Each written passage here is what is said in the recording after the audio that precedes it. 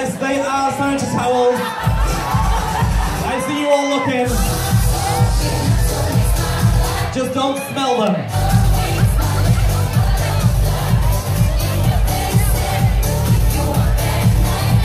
If you have been chosen, you've been mama tuckered.